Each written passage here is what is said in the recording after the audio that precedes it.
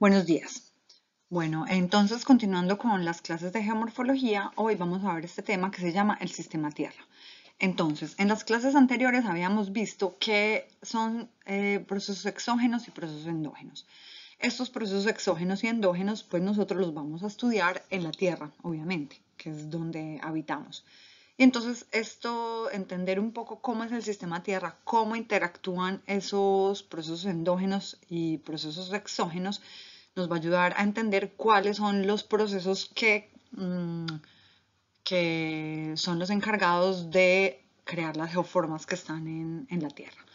Entonces, bueno, esta clase pues se llama el sistema Tierra, como les estaba diciendo, y la pregunta que vamos a tratar de resolver aquí es cómo es el interior de la Tierra, ¿cierto? Pero no el interior de la Tierra como de nuestros pies para abajo, sino toda la Tierra, vista como si la estuviéramos viendo desde, desde el espacio. Acá en estos videos que ustedes van a ver en sus casas, eh, van a encontrar un tema que es muy importante eh, de resolver mientras estamos viendo este curso, que es la escala. Porque pues cuando uno está por ahí muy desprevenido, no ha estudiado geología, no ha pensado un poco cómo, cómo es la geología, cómo son los procesos naturales, entonces pues como que no, no ha dimensionado un poco cómo es la escala de estos procesos. Entonces aquí, pues aparte de lo que ya habíamos hablado, que son el tiempo, ¿no? Que son procesos que ocurren en millones de años en algunos casos, otros procesos que son pues más cortos. También hay un problema de escala de tamaño. Entonces, eh, si miramos estos videos, de pronto vamos a entender eh, cómo es de pequeñito el planeta, cómo somos de pequeñitos nosotros, pues en principio, pero también cómo es de pequeño el planeta eh, si lo vamos a comparar con el universo. Y bueno, eso pues va a ayudar un poco como a ampliar la mente para poder entender cómo es, es todo los del sistema Tierra. Entonces, bueno, ahí están los dos videos, ahí se los dejo para que ustedes los, los miren en sus casas. Bueno, entonces, si tú pudiéramos tomar una nave espacial, irnos afuera y viéramos la Tierra desde una nave espacial, pues esto sería lo que veríamos. Entonces veríamos como tres colores principales. Veríamos una bola azul, ¿cierto? Que es famoso, es famosa la Tierra porque se llama el planeta azul, porque está compuesta principalmente por agua. Y mm, Luego veríamos, eh, pues nos podríamos ir acercando y entonces ya no se vería tan azul, sino que veríamos que tiene como un pequeño envoltorio, o sea, una cosa que envuelve, así como un algodón, que sería esta parte blanca, que sería la, la atmósfera. Y si nos acercamos un poquitico más, ya de pronto podemos empezar a ver estas pintas como cafés que van a ser los continentes. Entonces, por lo menos, si nos pudiéramos ir acercando, podríamos empezar a ver o por lo menos empezarnos a preguntar cómo es que está constituido el planeta Tierra. Bueno, acá está, si pues ya estamos todavía en el espacio y pudiéramos ver qué es lo que está rodeando la Tierra, pues entonces podemos ver que están estos planetas en el sistema solar. Entonces tenemos el Sol y luego están estos planetas eh, que están así en este orden, Mercurio, Venus, Tierra, Marte, luego está Júpiter, que en el video ya pues van a ver las escalas, pero aquí ya nos podemos empezar a hacer una idea, Júpiter, Saturno, Urano y luego Neptuno. Eh, Plutón antes aparecía en la lista de planetas del sistema, del sistema solar, pero pues luego una comisión se reunió y pues determinó que era demasiado pequeño como para tomar la categoría de, planeta. Entonces, pues es un planetoide, es un planeta enano. Listo.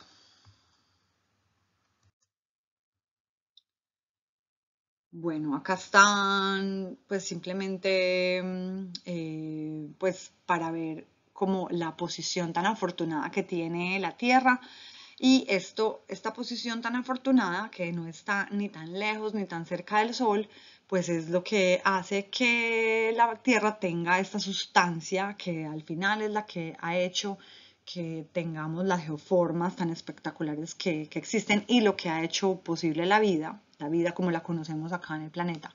Entonces, esta posición acá es la que permite que exista el agua, porque no está en forma eh, de hielo como en los planetas que están aquí más lejanos, y pues no está ya evaporada como en estos planetas que están aquí más cerca del Sol.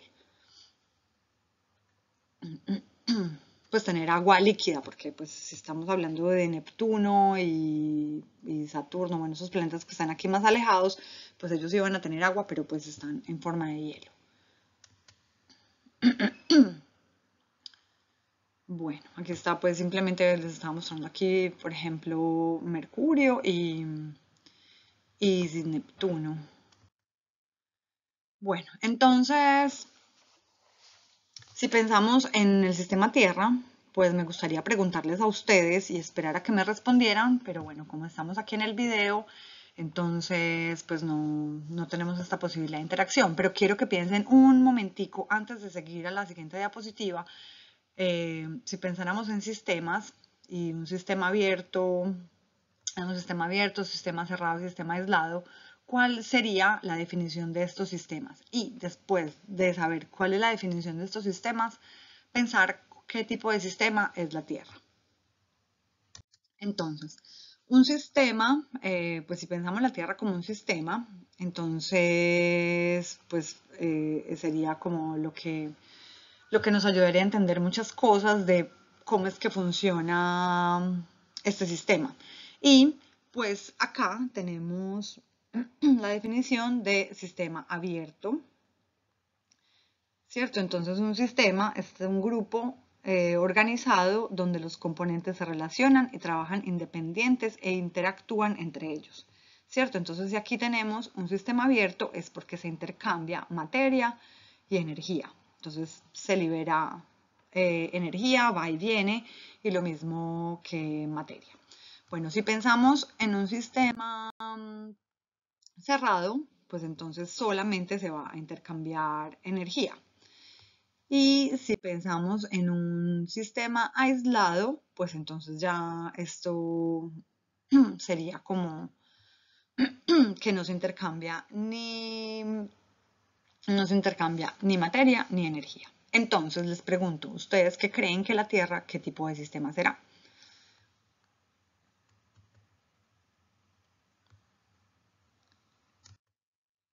Entonces, bueno, si pensamos en la Tierra, pues entonces la Tierra va a ser un sistema abierto porque intercambia materia y energía. ¿Cierto? Te intercambia energía del sol, o sea, el sol le da su energía y luego ella también la vuelve a desprender al exterior y también pueden entrar algunos cuerpos, sería materia, por ejemplo, a veces logran entrar algunos meteoritos en la Tierra. Entonces esto le da esta propiedad de sistema abierto.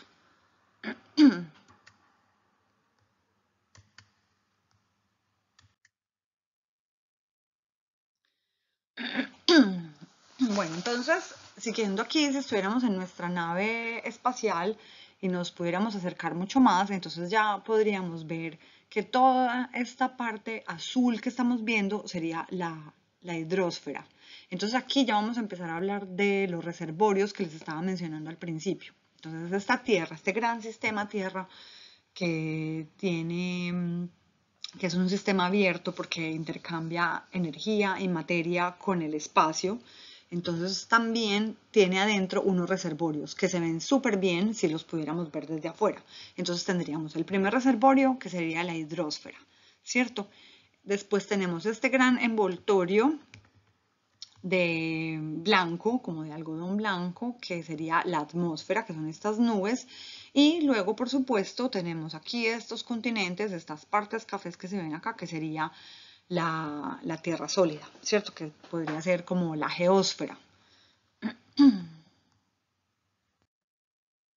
Listo, entonces aquí está, aquí tenemos ya pues de cerquita con, si hubiéramos entrado a la Tierra, entonces ya podemos ver la hidrosfera, la geósfera y la atmósfera, ¿cierto? Que son las nubes, las montañas, bueno, los continentes en general y lo que bordea esos continentes que serían la hidrosfera. Obviamente, pues la mayoría de la hidrosfera, que es por lo que el porcentaje mayor por el cual está compuesta la Tierra, está en los océanos. Pero de todas maneras hay un porcentaje de esa hidrosfera que también está en los continentes.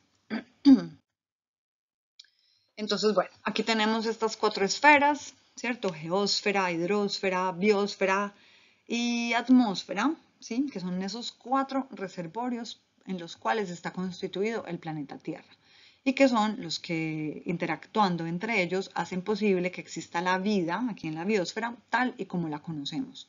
Entonces ese balance de intercambio, esos ciclos que se mantienen ahí entre estos cuatro reservorios son los que hacen posible eh, que existan las geoformas que conocemos, bueno, y que en general la Tierra sea tal cual y como la, la conocemos en este momento. Bueno, entonces ahora vamos a hablar de cada una de estas de, estas, eh, de estos reservorios, de estas esferas, ¿no? Entonces, el primer reservorio que vamos a ver es la hidrosfera. Entonces, bueno, eh, ¿dónde están las principales reservas de agua dulce? Porque si pensamos en la hidrosfera, pues casi todo está compuesto por agua salada, que sería el agua que está en los océanos. Entonces habría que preguntarse dónde es que se encuentran esos reservorios. Miren, tenemos el 97% agua salada y 3% solamente de agua dulce. Entonces, ¿dónde están esos reservorios de agua dulce? Pues principalmente en las aguas superficiales, que sería el 2% nada más. Luego, de este 3%, el 28% más o menos eh, serían las aguas subterráneas y el resto, o sea, la mayoría de los reservorios de agua dulce están Em, están en los casquetes polares, o sea, está congelado. Entonces esto, pues si nos ponemos a reflexionar un poco en lo que podría pasar con el calentamiento global, es que se perdería la mayor cantidad de agua potable, de agua dulce del, planeta, si hay un incremento representativo en, la temperatura, pues porque obviamente estos casquetes polares empiezan a derretir, el agua llega, es a los océanos, se mezcla con el agua salada y entonces ya no vamos a tener suficientes reservas de agua dulce que están ahí principalmente. Bueno, entonces les pregunto yo aquí para hablar un poquito de la, de la hidrosfera, entonces, ¿cuál es la composición del agua? Entonces muchos me responderían, no, pues es hidrógeno y es oxígeno, pues porque la, molécula del agua, la fórmula de la molécula del agua es H2O, pero nada más lejano que esta respuesta a la realidad, porque el agua no es solamente hidrógeno y oxígeno, tiene un montón de, iones y cationes que están ahí metidos. ¿Y de qué va a, de qué va a depender esa composición del, agua? Pues va va a depender de la roca en la, en la cual está rodeada, de la roca circunstante. Bueno, em, entonces, pues esta es otra de las razones por las cuales es interesante para las personas que estudian eh, ciencias de la Tierra, no solamente geología, en, eh, pues entender un poco cómo es que es la composición de las rocas, porque la composición de las rocas al final es la composición del agua, la composición de la comida, la composición de los suelos, sí, porque todo está en una cadena, en una cadena y en un ciclo. Entonces, el agua, pues sí, tiene hidrógeno, tiene oxígeno, pero según la cantidad, las rocas o donde esté presente, pues va a tener diferente composición. Entonces, bueno, en los mares, por ejemplo, pues va a tener eh, estos iones de sulfato y de magnesio. Eh, va a tener una salinidad alta.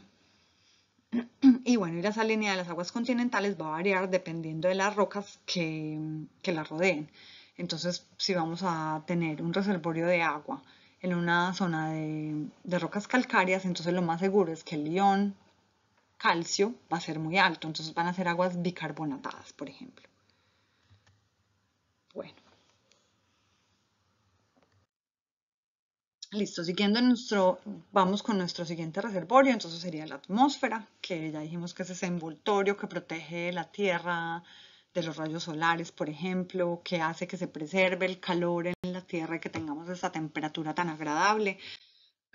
Entonces, bueno, la atmósfera tiene también sus capas, empieza aquí como a, a complicarse un poco el tema, porque ya no es solamente mm, como la hidrosfera que habíamos hablado, que eran solamente pues agua salada, agua dulce y que están en diferentes reservorios. Aquí estamos hablando de la atmósfera y la atmósfera pues tiene es varios kilómetros desde la superficie desde la superficie de la Tierra hasta el espacio. Entonces está compuesta, mire, está aquí hasta 600 kilómetros, que sería la termósfera. Sí, o sea, estamos hablando que es súper alta. Entonces tenemos eh, la primera parte sería la troposfera, luego sería aquí donde está la capa de ozono, luego la estratosfera, mesósfera, termósfera y exósfera. ¿Sí? Entonces, bueno, ¿de qué está compuesta la atmósfera? Entonces la atmósfera también está compuesta de varios elementos. Entonces, principalmente está compuesto en un 78% de nitrógeno. Luego tenemos un 21% de O2, que son dos, dos, moléculas de oxígeno. Tenemos también otros gases, como por ejemplo el argón. También existe CO2, o 3, que sería el ozono, vapor de agua. Y también hay unas partículas sólidas, que son pues ya un porcentaje poco representativo. Bueno, eh, aquí pues tenemos una definición de la atmósfera. Entonces la atmósfera es una capa de gas que está rodeando el planeta. Eh, la atmósfera está adherida al planeta por el campo gravitatorio. Si no, pues si no existiera el campo gravitatorio, pues entonces la atmósfera se escaparía y no existiría la vida aquí como la conocemos, no tendríamos esta temperatura tan agradable y no existirían estas condiciones que tenemos.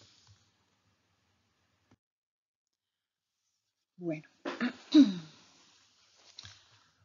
Entonces aquí está. Mm, aquí están el, eh, pues otra vez las capas un poco como más detalladas. Aquí vemos cómo va variando eh, la altura y la temperatura. Eh, aquí pues como que en los primeros kilómetros la temperatura es muy agradable, la temperatura empieza a disminuir con la altura hasta que llega a un punto donde empieza a aumentar la temperatura hasta que la temperatura ya pues es súper alta. Aquí en la termósfera es interesante, pues así como un dato curioso, que es donde se produce la, aurora boreal. Entonces la aurora boreal, eh, eh, pues existe aurora boreal y aurora austral, pues depende de, de donde se vea, si es en el norte o es en el sur, el hemisferio norte o el hemisferio sur. Entonces la, esto, mm, como luces que se ven en el espacio ocurren porque pues existen estos rayos cósmicos, ¿sí? que son pues como estas partículas, como estos, em, estas partículas que emite el sol, que se chocan con los oxígenos que están en, en la Tierra y a veces cuando, cuando se excitan esas partículas de oxígeno, entonces producen esta luz que pues llamamos aurora boreal. bueno. Listo, ¿qué más? Eh, bueno, acá está otra vez pues como los porcentajes de, la composición de la, atmósfera. Miren que tiene gases pues como metano, helio, neón. Bueno, está pues como tiene mucha composición. Aquí está como principalmente nitrógeno, oxígeno y los otros que serían este amarillito, es principalmente argón, luego otros gases, esos otros, gases están aquí, neón, helio, metano, etc. Entonces, bueno, miren qué composición tan variada la que puede tener esta, esta atmósfera. Pues no solamente nitrógeno y oxígeno.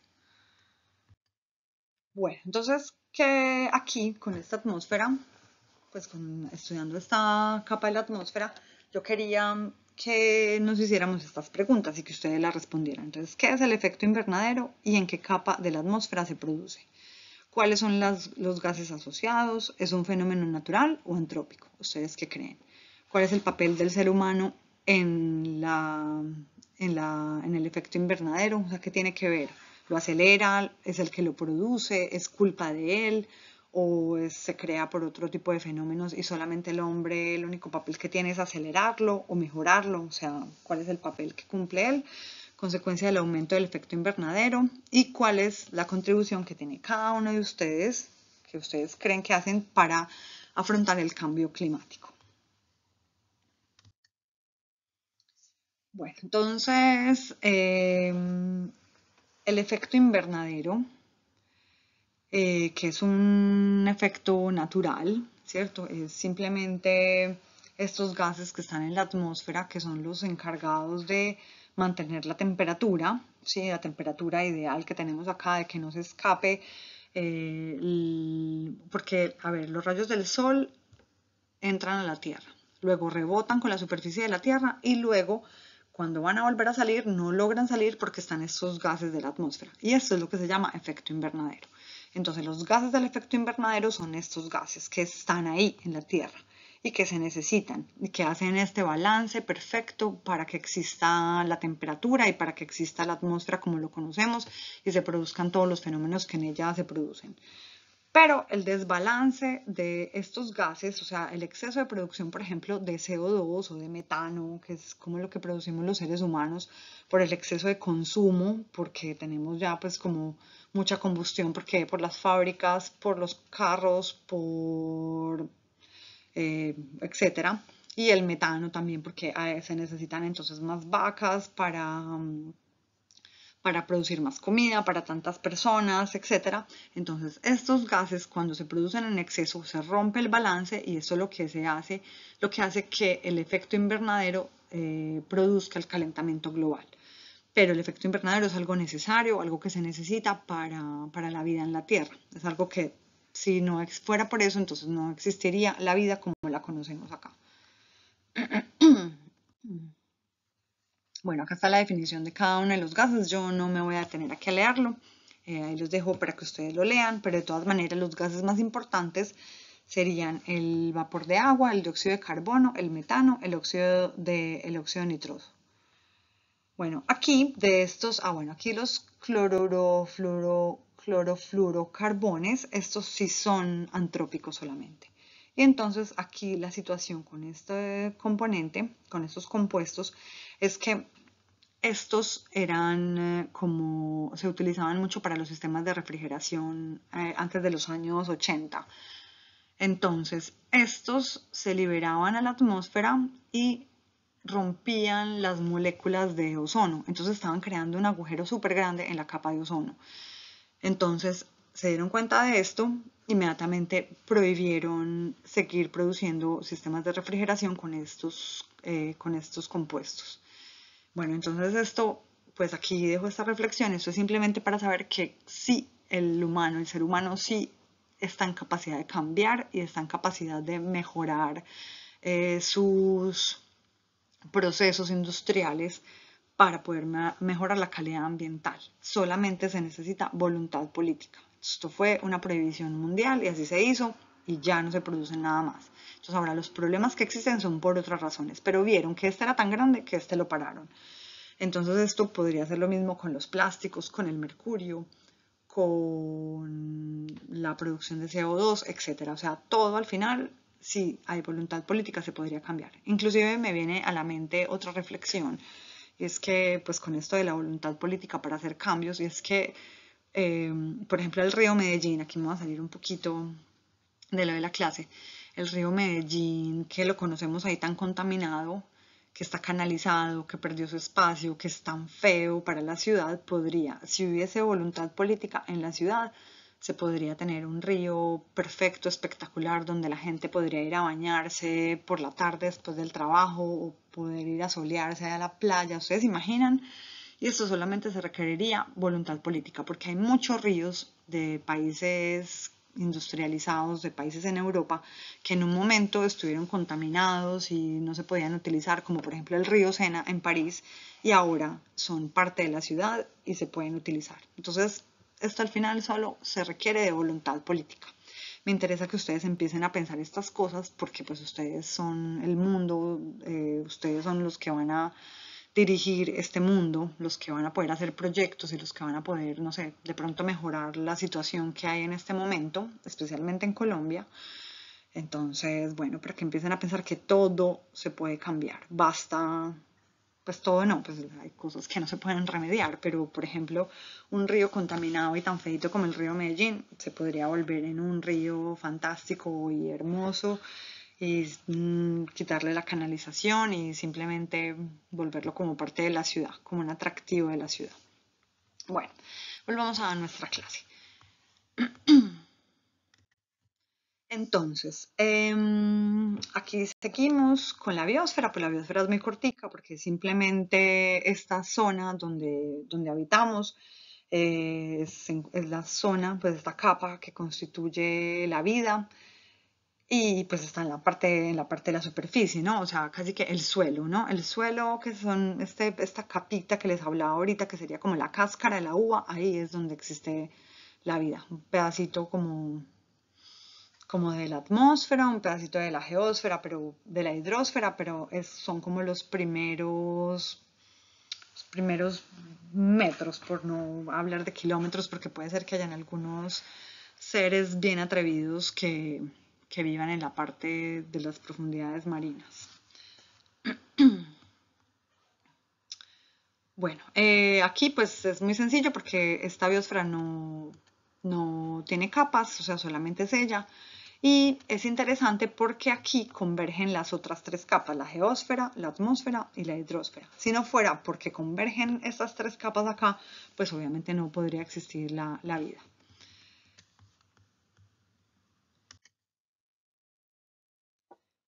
Bueno, la geoquímica, entonces el balance de todos esos compuestos químicos que se producen a partir de la meteorización, del transporte de sedimentos, de la interacción del agua con las rocas, etcétera, son los que hacen posible que exista la vida en este planeta y que por lo tanto pues haya una biosfera.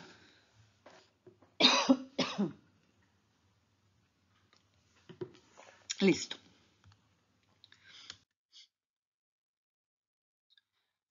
Bueno.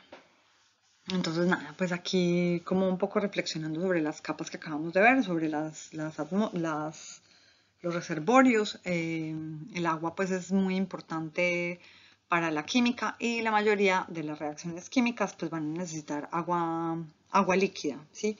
Entonces, esto, esta reflexión la hago porque al final para que hayan estos cambios en, las geoformas, se va a necesitar el agua. O sea, si no existiera el agua eh, en el planeta, entonces no habría forma ni de que existieran ni valles, ni cascadas, ni rocas con las formas tan particulares que conocemos, ni playas con las formas caprichosas que tienen, ni etcétera. Bueno. Y ahora tenemos entonces la geósfera, que es en la que nos vamos a, concentrar ahora un poquito más eh, en esta clase, ¿cierto? Entonces, bueno. Entonces, la geósfera sería la parte de tierra sólida, que está desde la parte donde vivimos nosotros, donde tenemos nuestras construcciones, fábricas, etcétera, donde desarrollamos todas nuestras actividades, hasta el núcleo de la Tierra. Entonces, bueno, aquí vamos a ver esas capas en las cuales está dividida la Tierra. Entonces, bueno, el planeta Tierra eh, es un esferoide de 12.742 kilómetros de diámetro y tiene un ligero achatamiento en los polos. O sea, no es esa forma redondeada que, pues, como la pintamos, sino que está ligeramente redondeada por aquí en los polos. O sea, que tiene más o menos como esta forma. Si pudiera pintar. bueno, puedo pintar. ¿Qué pasa? ¿Sí? Bueno. Mm. El puntero láser. Lápiz, lápiz. Ah, porque tengo que escribir. Ok, entonces tiene, esta forma más o, más o menos. Eh, no puedo escribir. ¿Por qué? Está así ya. Entonces tiene esta forma más o menos, como así y luego achatada en los polos. Bueno, aquí estoy un poquito exagerando, pero más o menos sería como un elipsoide, ¿sí? Que sería un poco achatada en los polos y más gordita en, en los extremos.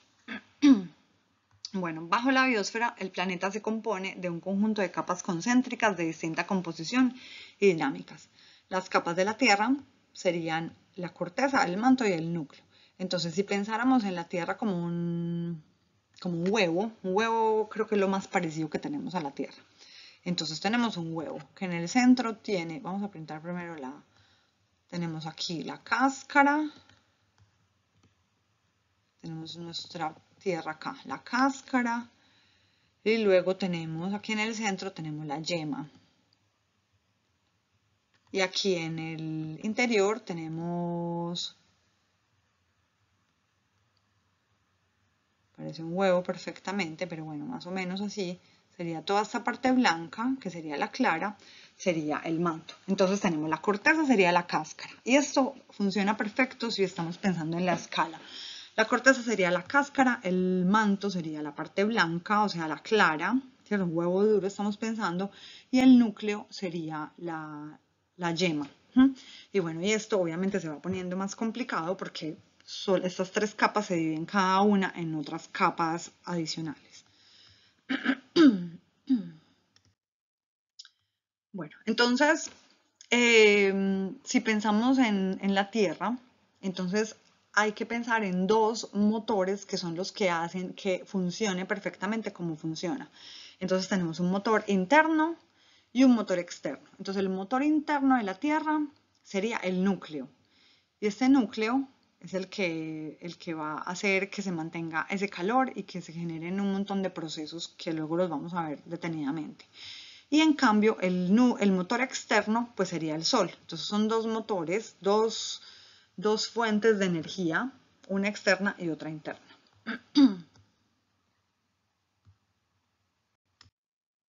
Bueno, entonces tenemos procesos endógenos se rigen por el núcleo de la Tierra, procesos exógenos principalmente por el Sol. Además, habría que tener en consideración la gravedad, que también juega un papel muy importante para que se, para que se concreten, para que se produzcan todos los procesos que interactúan en la Tierra.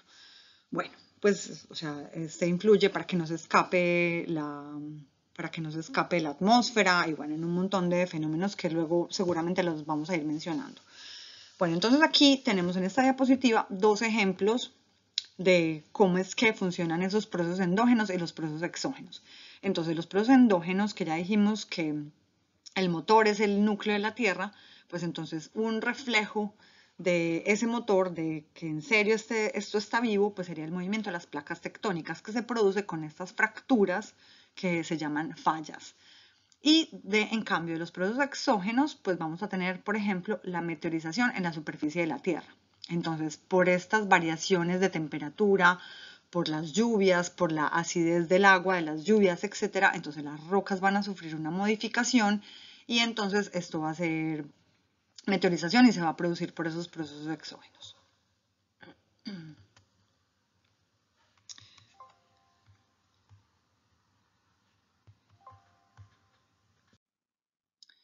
Bueno, entonces vamos a empezar a ver cómo son esos motores de la Tierra. Entonces, primero vamos a empezar por los motores endógenos. Entonces vamos a hablar un poco, nos vamos a meter en las profundidades de la Tierra para ver cómo es que funciona ese motor y qué es lo que se mueve y qué es lo que hace que, que esas capas se muevan y que al final se produzcan estos fenómenos como el levantamiento de las montañas, etc.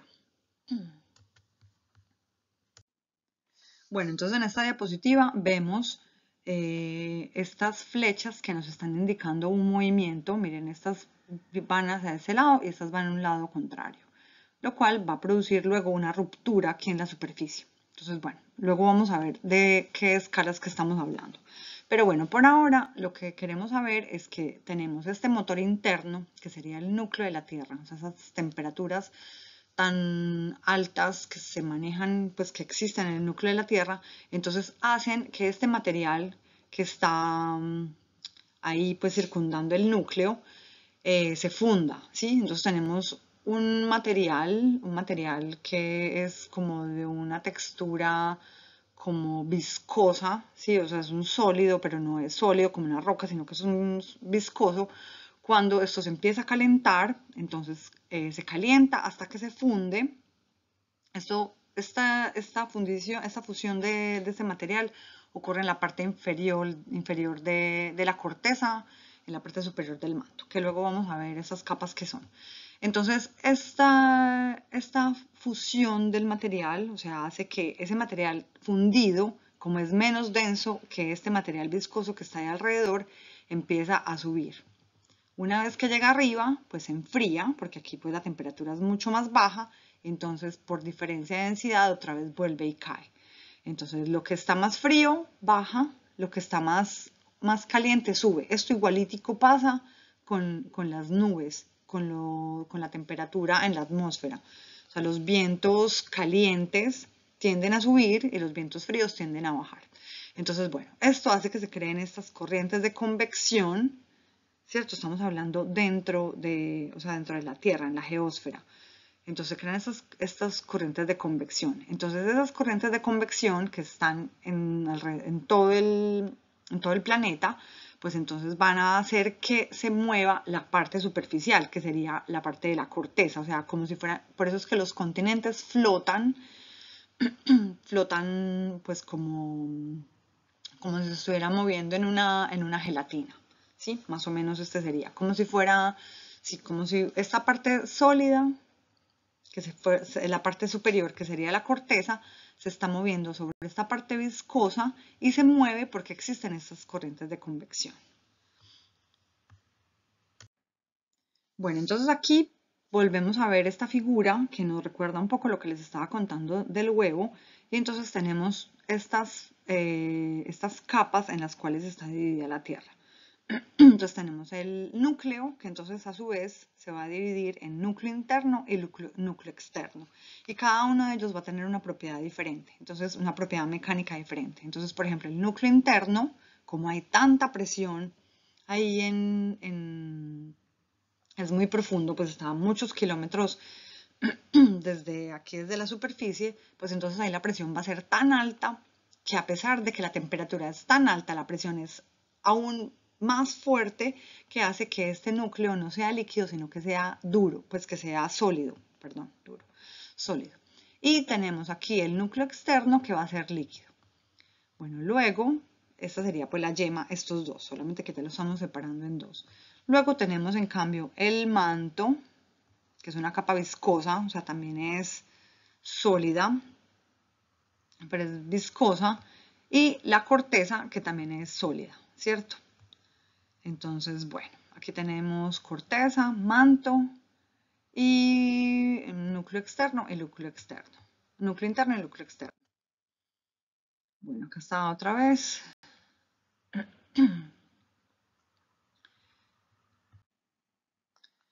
Bueno, aquí en esta diapositiva ya nos están dando más una idea real con números de las profundidades que tienen estas capas. Entonces, por ejemplo, acá tenemos el manto que está a 2900 metros, luego empieza el núcleo, el núcleo, ¿sí?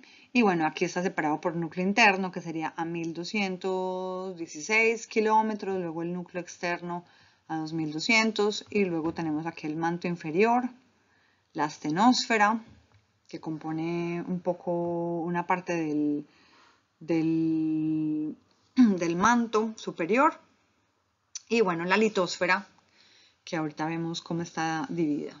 Aquí se puede ver bien. Entonces, la litosfera compone parte del manto superior y la corteza, que es esta parte dura, parte sólida que tiene las capas de la Tierra.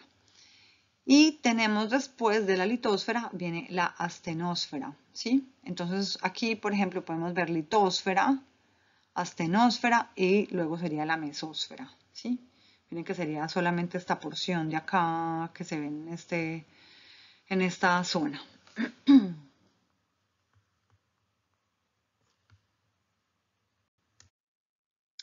Bueno, y entonces en la diapositiva anterior vimos estos números que nos hablan de, pues, de una escala muy, muy grande, o sea que casi que nos si nos ponemos a pensar qué tan lejos de aquí de la superficie está el núcleo, pues es difícil de pensar porque estamos hablando de más de 5.000 kilómetros.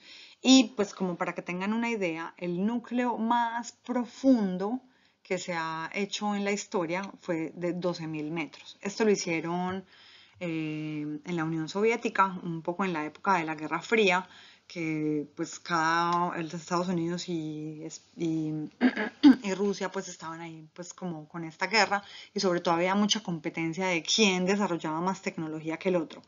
Entonces eh, Rusia estaba eh, como tratando de hacer eh, este núcleo pues para hacer experimentos pero luego la temperatura fue mucho más alta porque el gradiente geotérmico va aumentando con la profundidad.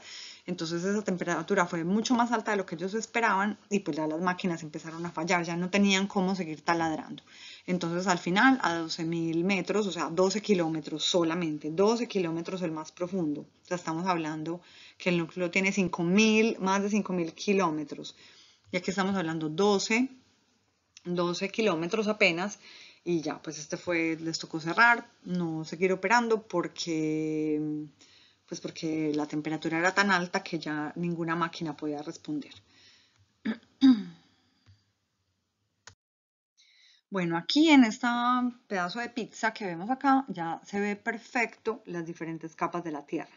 Entonces, de hecho, tenemos las descripciones de cuál es la composición de cada una de ellas, composición química y las propiedades mecánicas. las propiedades mecánicas van a ser muy importantes porque estas nos van a ayudar a entender un montón de fenómenos. Aquí tenemos el núcleo interno que ya habíamos dicho que era sólido. Recuerden por qué es sólido, es por la presión. A diferencia del núcleo externo, que es el líquido, es un metal fundido, estos dos están compuestos principalmente por hierro y níquel y bueno, y otros elementos de densidad muy muy alta. Y luego sigue acá la mesósfera, ¿cierto? La mesósfera eh, que está hasta, llega hasta los 12.900 kilómetros. Aquí está esta discontinuidad de Gutenberg, que se llama, pues acá que sería como este paso entre esta parte de la mesósfera que es sólida y esta parte del núcleo que es que es líquida y que además pues tienen composiciones diferentes. Luego pues acá hay como más silicatos de hierro y de magnesio y bueno, también son elementos muy densos, muy, pues, muy oscuros, pero bueno, son diferentes los que están acá que los que están en la mesósfera. Eh, también la mesósfera pues a pesar de que es sólida, tiene algo de plasticidad, ¿cierto? Le hace un poco esta consistencia viscosa. Luego tenemos hacia arriba la astenosfera, que está, llega hasta desde los 100 kilómetros hasta los 700 kilómetros. Esta está parcialmente fundida, es bastante plástica, pero de todas maneras seguimos hablando que es sólida. Luego tenemos acá la litosfera. La litosfera ya estamos hablando que es sólida, ¿sí? Y es aquí, esta parte de la litosfera es donde está, la, es donde se apoya la mejor dicho, la litosfera tiene parte de la corteza, de la corteza continental oceánica y un pedazo del manto superior, ¿cierto? Bueno, entonces miren, el manto va desde aquí, desde donde empieza esta parte azulita que toma parte de la litosfera, hasta aquí donde se acaba este rosado. Y en cambio, la litosfera toma esta parte de esta parte superior del manto, esta parte morada, y la corteza, que ya sería esta parte café. Bueno, además, la corteza está dividida en dos. Hay corteza continental y corteza oceánica. Esto es muy importante porque son súper diferentes entre las dos. En composición, en densidad y en espesor principalmente. Pues también tienen otras eh, diferencias. Bueno, aquí en esta diapositiva podemos ver pues como un poco más detallado y menos, menos apretada que la diapositiva anterior. Y bueno, entonces aquí vemos que la litosfera es la capa externa frágil de la Tierra que incluye la corteza y el manto superior. ¿sí? Entonces esta parte, esta partecita de aquí que vemos aquí con un azulito claro y luego aquí donde están las rocas, o sea, esta parte delgada y luego aquí esta parte más gruesa, que sería la corteza oceánica, está delgada y la gruesa la corteza continental. Bueno, en esta diapositiva tenemos un zoom de la parte superior de todas estas capas que estamos viendo. Entonces tenemos aquí la litosfera y la astenosfera. Entonces vemos la litosfera, que ya dijimos que es esta parte superior, entonces contiene el manto superior, que es sólido, y la corteza, oceánica y la corteza continental, que también son sólidos. Y esta parte, esta litosfera, está flotando sobre la astenosfera, ¿sí? Sobre la astenosfera que es fluida. Y luego ya de ahí para abajo tenemos el, el manto inferior que sería sólido. Entonces esto es muy importante porque aquí lo que nos va a mostrar es que esta litósfera flota sobre esta astenosfera. Entonces tienen que tener diferentes, diferentes propiedades mecánicas para que esto sea posible. Entonces, bueno, la litósfera, el nombre litósfera viene del lito que significa roca y la astenosfera es una roca suave que fluye eh, y se comporta como, como una gelatina, ¿sí? Entonces, bueno, astenos viene de débil en griego. Entonces la astenosfera es la, la litósfera que flota sobre la astenosfera. Y esto es lo que hace posible que exista el movimiento de las placas tectónicas. Bueno, en esta diapositiva es interesante porque aquí se evidencia perfectamente que la litosfera tiene como una profundidad variable. Y esto va a depender, pues, si la litosfera, que está compuesta de esta parte del manto superior y de la corteza, entonces está en una parte de corteza oceánica o en una parte de corteza continental. y esto pues va a ser definitivo porque va a ser, ahí se van a ver grandes diferencias entre las dos. Bueno, aquí vemos esta división que es muy interesante porque se llama mm, el mojo. Esta seguramente que lo van a ver en documentales, películas, etc. Eh, se llama así porque es Mohorovich el apellido de la persona que lo descubrió y este muestra el límite entre la corteza, puede ser corteza oceánica, corteza continental y esta parte del manto superior. Bueno, aquí también un poco más de detalle, donde pueden observar pues, de qué está compuesta cada una de las capas, como la distribución, como la escala de cada uno de ellos, pues porque miren que es mucho más pequeñito el núcleo interno que el núcleo externo y el manto ocupa casi todo toda la escala, pues como casi toda la, la geósfera. Entonces, bueno, eso también es importante, la escala, o sea que hay que mantener que la corteza es delgadita como la cáscara, que la clara sería como el manto, o sea, es mucho más grande y luego el núcleo es mucho más pequeño. Es muy importante mantener esta escala. Y también que la corteza oceánica es muy delgada y la corteza continental es muy gruesa. Aquí, por ejemplo, vemos en esta diapositiva eh, esas grandes diferencias que hay entre la corteza oceánica y la corteza continental. Esas diferencias van a ser muy importantes luego cuando eh, queremos entender la formación de las cadenas montañosas, como por ejemplo de los Andes. Entonces vamos a entender cuál, cuál sería la corteza continental, cuál es la oceánica y por qué se levanta la corteza continental, dándole lugar a estas cadenas montañosas. Entonces, la corteza oceánica es delgada, tiene 7 kilómetros. Eh, está compuesta principalmente por rocas ígneas, rocas oscuras y son, en general, pues son denominados basaltos. La densidad de estas rocas es de más o menos 3 gramos centímetro cúbico, o sea, es mucho más densa que la corteza continental y normalmente eh, se van a encontrar rocas muy jóvenes asociadas a esta corteza. En general es muy homogénea, casi las rocas de esta corteza siempre van a ser negras y con una composición muy similar unas entre otras. En cambio, la corteza continental es más gruesa, mide más o menos de 35 a 40 kilómetros. A veces puede ser que si estamos en una parte tipo como, no sé, el Himalaya, el Everest, etcétera, pues entonces ya va a ser mucho más espesa y va a llegar hasta casi los 70 kilómetros.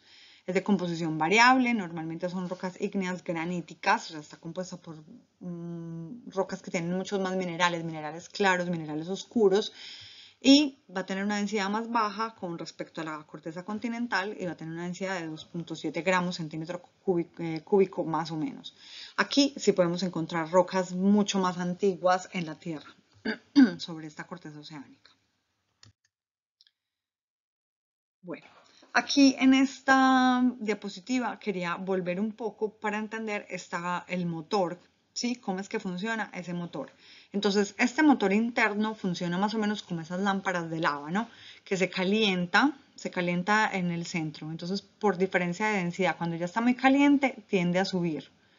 Tiende a subir el material fundido. Cuando llega arriba, se enfría, porque acá arriba eh, la temperatura es mucho más baja, y entonces vuelve y se cae. Entonces, por diferencia de densidad se empiezan a crear estas corrientes de convección en la astenosfera, ¿sí? Pues o sea, en el manto, en la parte de la astenosfera.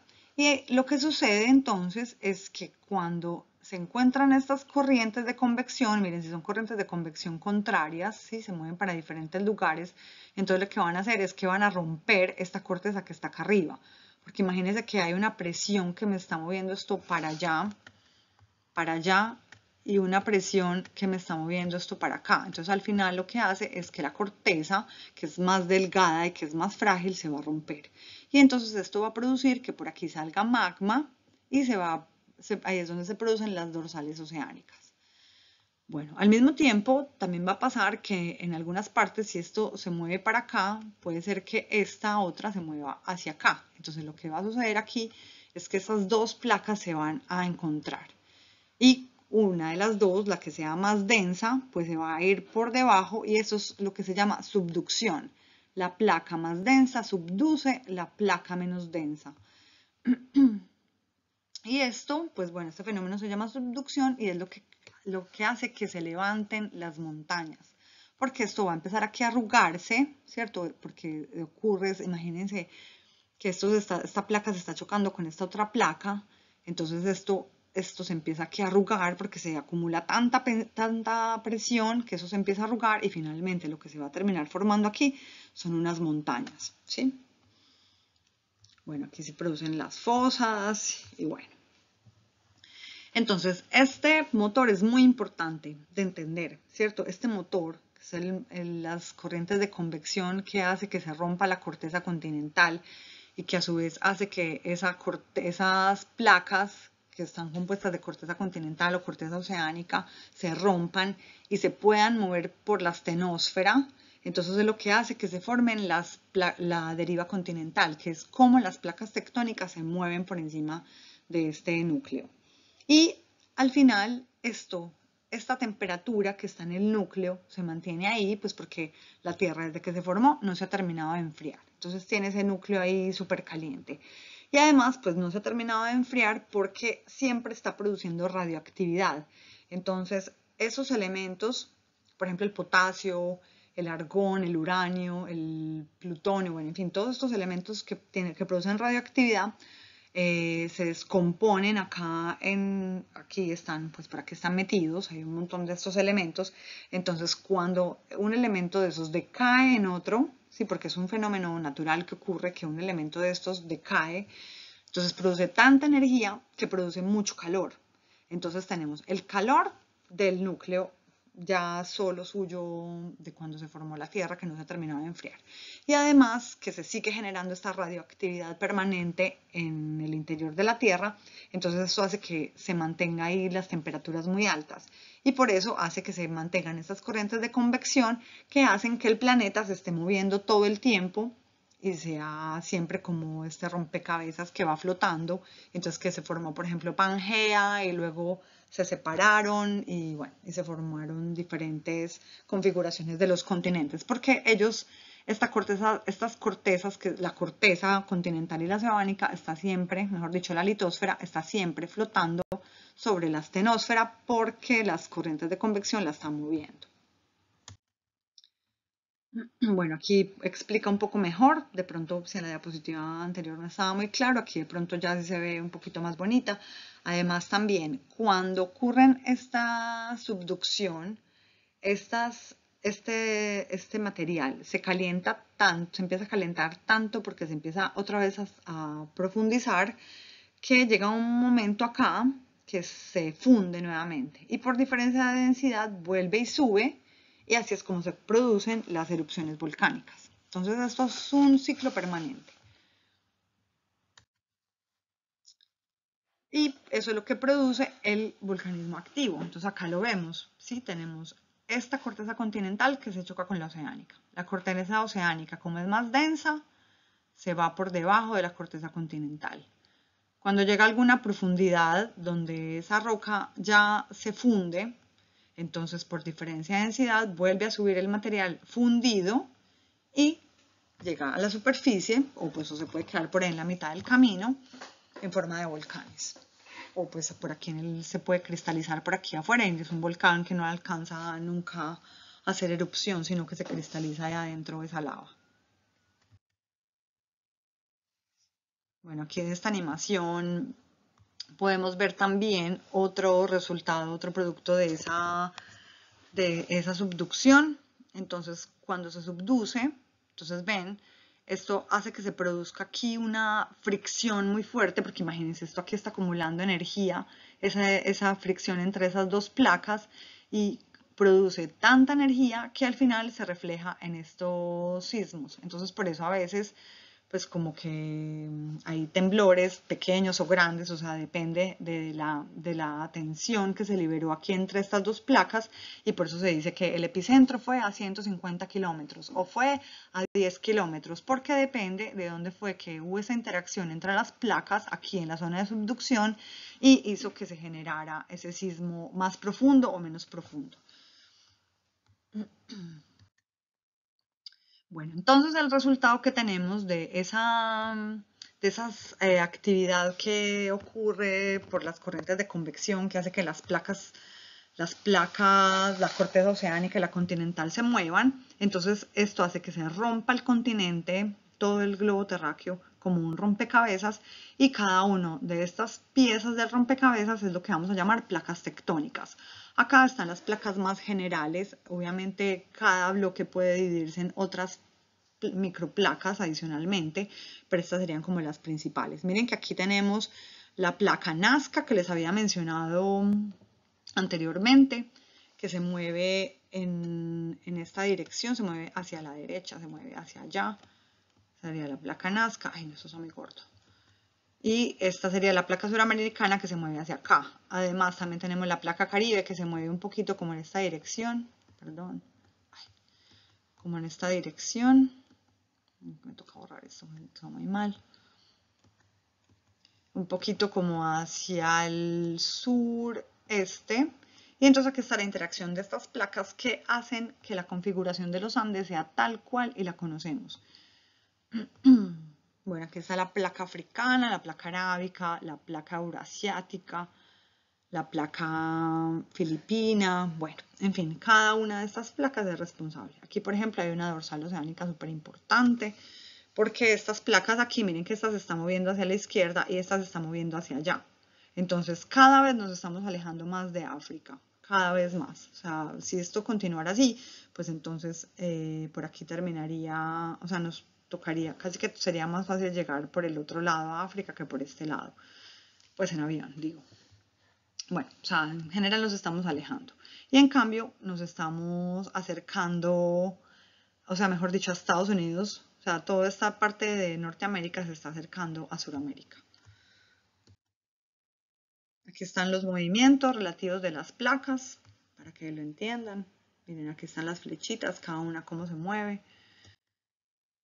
Bueno, y estos, entonces, ustedes miren esta, esta diapositiva comparada con la anterior. Eh, vemos que están aquí estas placas y entonces el mapa anterior, ¿cómo lo habrán hecho? Pues porque en donde están esos límites de placa hay un montón de terremotos, de sismos, que son los que han ayudado a determinar dónde es que están esos límites de placa. Y si no, eh, pues aparte de sismos también hay volcanes. Aquí serían las, erupciones volcánicas. Entonces a partir de saber dónde es que ocurren en constante, en continuación, estos sismos y estas erupciones volcánicas es lo que ayuda a determinar cuáles son los límites de placa. Bueno, entonces, miren que en la diapositiva que les mostré donde están los movimientos relativos de las placas, se ve que hay unas placas que se acercan, otras que se alejan, otras que se mueven de pronto, eh, si miráramos desde arriba, como si se estuvieran una yendo para un lado y otra para el otro, ¿sí? Entonces, esto es lo que va a determinar los nombres eh, como de los esfuerzos entre, entre los límites de placa. Entonces vamos a tener tres tipos de placas. Entonces hay límites de placas divergentes, que es cuando se están alejando, límites de placas convergentes cuando se están acercando y límites de placas transformantes. Entonces yo les preguntara, ¿cómo es el límite de placa eh, entre la placa Nazca y la placa suramericana? Pues es convergente, porque es la placa Nazca que se está acercando con la placa suramericana se está chocando, la placa Nazca se está subduciendo sobre la, bajo la placa eh, suramericana, la placa suramericana es continental, la Nazca es oceánica, y esto va a hacer que se levanten los Andes. Entonces, por el efecto, por la mm, interacción entre las placas convergentes Nazca y suramericana, se están levantando los Andes y además es interesante que la placa Nazca, como es más densa porque es oceánica, se subduce bajo la placa suramericana que es continental.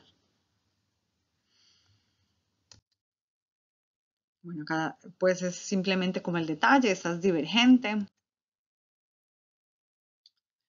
Eh, los límites divergentes se alejan entre sí debido a que la presión del magma subterráneo que emerge eh, creado al enfriarse, eh, creando al enfriarse una nueva proporción de corteza. Entonces, bueno, ¿qué es lo que ocurre en las dorsales oceánicas que les mostré? Miren, acá en esta parte de aquí, aquí están estas divergentes que se están alejando y se va produciendo magma.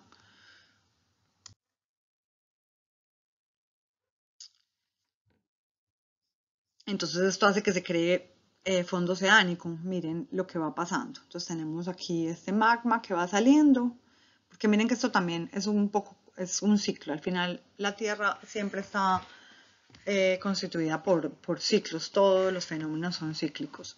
Entonces tenemos aquí que se empieza a romper esta corteza un poco más gruesa, como se va alejando, se va separando esto hacia allá y este hacia acá entonces esta corteza se va adelgazando, imagínense como si estuvieran estirando un bloque de plastilina y al final lo que tienen es un bloque muy delgadito, Entonces se va formando un océano entre los dos. Esto fue lo que pasó en Pangea, cuando estaban pegados Suramérica y África, se empezaron a alejar, alejar, se siguen alejando inclusive en este momento, entonces se adelgazó la corteza tanto que ya en la mitad se creó, fue corteza oceánica. Este sería un límite de placas convergente que ya les expliqué, que es el fenómeno que está ocurriendo en, en, Sudamérica para que se levanten los Andes. Aquí en este caso sería, aquí estarían los Andes, serían estos. Está al revés pues, de, lo de como lo conocemos. Esta sería la placa Nazca, esta sería la placa suramericana, y entonces estarían por convergencia, la placa Nazca se está subduciendo bajo la placa suramericana y se están formando aquí los Andes.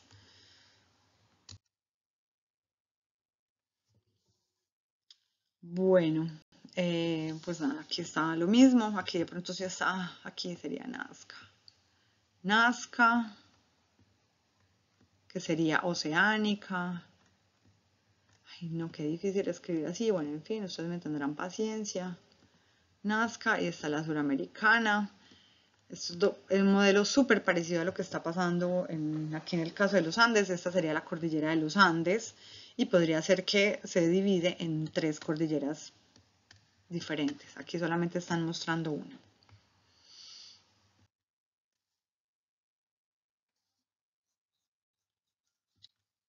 Bueno, las transformantes, en cambio, eso habría que mirarlas desde arriba. Entonces es cuando una placa se mueve para un lado con respecto a la otra.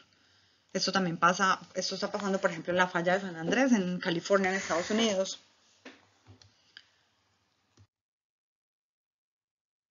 Bueno, serían límites transformantes. Miren, acá está, acá se ve en acá, en, esto sería en California. Uno se mueve para para arriba, el otro para abajo, o sea, esto sería mirándolo desde, arriba, como si lo miráramos desde un avión. Entonces esto sería una falla, esta ruptura que se forma acá sería una falla y tendría un movimiento hacia la derecha, porque miren que si yo me paro aquí, miro que todo esto se está moviendo para la derecha, y si me paro aquí, esto se está moviendo para la derecha. Entonces el movimiento relativo sería falla con movimiento hacia la derecha. Bueno, aquí más, otros modelos más para poder entender bien esto que estamos hablando. Aquí sería pues como ya toda la configuración, ¿sí? Tendríamos todas las posibilidades con fosas oceánicas, aquí hay una subducción, aquí está un continente que se está levantando, aquí en cambio se, encontrarán dos placas oceánicas, aquí, ¿qué pasaría? se formaría también de todas maneras una subducción, la placa más densa se iría por debajo. Bueno, y aquí es un ejemplo que eh, esto ocurrió, me parece, en el 2000, ¿qué? 2023, 2022, ya no me acuerdo bien. Este fue un, el sismo que, em, estuvo en, Turquía y Siria, que fue de 7.8 en la escala, en la escala de, pues de magnitud 7.8. Y bueno, entonces, ¿por qué pasó este terremoto aquí tan fuerte? Pues bueno, primero se cayeron las casas, pues porque esto es una zona sísmica de mucha sismicidad y había muchas casas que no cumplían las normas antisísmicas. Pero bueno, esto es otra cosa, ya es un problema de gobierno. Pero el terremoto aquí fue muy fuerte, pues porque aquí tenemos estas eh, como una zona donde se encuentran varias placas tectónicas que se mueven una con respecto a la otra, son transformantes, y entonces por eso ocurrió este sismo aquí tan brutal. Aquí están los movimientos pues, eh, relativos, está la placa eurasiática, la placa anatólica, la placa eh, árabe y la placa africana. Entonces estas tres placas se mueven y hacen que este bloque que compone la placa anatólica, que es una placa mucho más pequeñita, que ni siquiera aparece en el primer mapa que les mostré placas tectónicas, se mueva como, queda ahí como estripada, como cuando el metro a las 6 de la tarde está muy lleno y uno está aquí en el centro y empieza a entrar gente por todas partes y esto se empieza a llenar, empieza a haber como movimientos por todos lados. Entonces aquí se está acumulando mucho esfuerzo y al final aquí hubo este brinco como de la placa y por eso ocurrió ese sismo. Está un poco más detallado con los movimientos relativos de todas las placas. Miren, esta se mueve hacia arriba, esta placa se mueve hacia la izquierda. Entonces aquí pues lo que hubo fue un movimiento relativo. Esta se movió de pronto un poquito hacia allá y está hacia la izquierda y entonces esto hizo que se desatara ese sismo ahí. Bueno, eh, este es un mapa que muestra las zonas de alta sismicidad. Miren ahí donde les estaba mostrando que ocurrió el terremoto, es esta parte de aquí. Y pues eso ahí es súper sísmico, o sea, es normal que todo el tiempo estén ocurriendo, ocurriendo sismos. Este sería el de Colombia, mapa de sismos de Colombia. Miren que la mayoría de sismos está concentrado en la cordillera de los Andes. Aquí en los llanos, por acá no hay casi nada. Y la zona donde hay más sismicidad en, Colombia sería como esta parte por aquí, donde está esto rojo. Bueno, entonces así terminamos lo, el motor pues, de explicar un poco la geósfera, que es, es, donde está ese motor interno de la Tierra, que ya dijimos que el calor es producido por el núcleo y por la radioactividad de los elementos que se descomponen, que se desintegran eh, en su interior generando un calor permanente y haciendo que ese motor se mantenga activo, produciendo las corrientes de convección que hacen que se muevan las placas tectónicas que son compuestas por la litosfera, que al final flota toda la litosfera sobre la astenosfera y hace que se muevan esas placas produciendo la deriva continental. Entonces ahora nos queda este, mm, los el motor externo, pues que sería principalmente constituido por el Sol. Entonces, los procesos exógenos pues son mucho más sencillos, pues por lo menos de explicar aquí a este punto, hablando de, las capas de la Tierra, porque eh, tenemos, pues es, como la misma, el mismo principio. Tenemos aire caliente, que está aquí en la parte baja, y que por diferencia de densidad sube, sube y se enfría, porque pues en la parte superior de la atmósfera, como vimos cuando estábamos viendo las capas de la atmósfera, aquí es mucho más frío. Cuando se enfría, pues entonces baja, porque es menos denso, entonces baja. Y así sucesivamente, repitiéndose eso. Entonces esto hace que se formen estas corrientes de convección, pero ya pues en la parte externa de la Tierra, en la atmósfera, y eso hace que se produzcan las nubes y al final que se produzcan también las lluvias. Bueno, aquí les dejo este cuadro para que ustedes se lo miren, que son los diferentes tipos de lluvia. Pues en realidad son tres tipos de lluvia distintos que serían lluvias geográficas, que es cuando una corriente, eh, una corriente de, se encuentra con una montaña, entonces empieza a subir por la montaña, ¿sí? Y bueno, ya cuando está acá arriba, el aire que está más frío se enfría y baja en forma de lluvia.